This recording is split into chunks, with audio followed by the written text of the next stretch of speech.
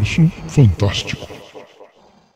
Dia 22 de outubro é o dia do anime. Bom, segundo a Associação Japonesa de Animação, como parte das comemorações em 2017 do centenário da animação japonesa. No Japão, o termo anime se refere a qualquer tipo de animação, mesmo sendo estrangeira ou nacional. Fora do Japão, o termo é utilizado para se referir aos desenhos animados japoneses. Os primeiros animes começaram a ser exibidos em 1917 em cinemas chamados de museus elétricos, no sexto distrito do Parque Asakusa, em Tóquio. Três pioneiros da animação são considerados os pais do anime. O primeiro é Ekoten Shimokawa.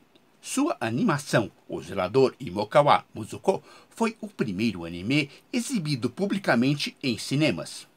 O segundo é Kitayama Seitaro, com a luta entre o macaco e o caranguejo, baseado em um conto popular japonês. E o terceiro é Kouchi Chibi, com a espada Namakura, uma história divertida de um samurai e sua espada sem corte.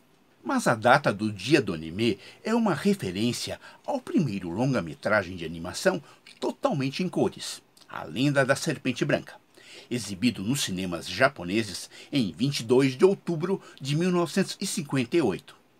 A história é baseada em um dos quatro maiores contos folclóricos da China. Um jovem é forçado a desistir de sua cobra branca de estimação. Anos depois, essa cobra se transforma em uma linda princesa.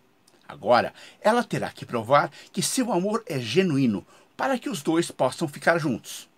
A Lenda da Serpente Branca foi também o primeiro anime a ser lançado nos Estados Unidos, sob o título Panda e a Serpente Mágica.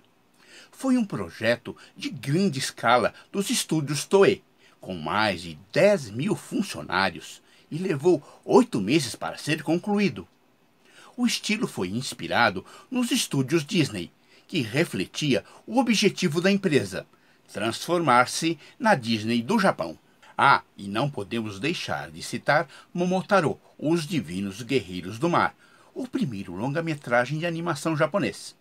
É um filme de propaganda de guerra em preto e branco de 74 minutos, financiado pela Marinha Imperial Japonesa em 1945 para promover o recrutamento de guerra.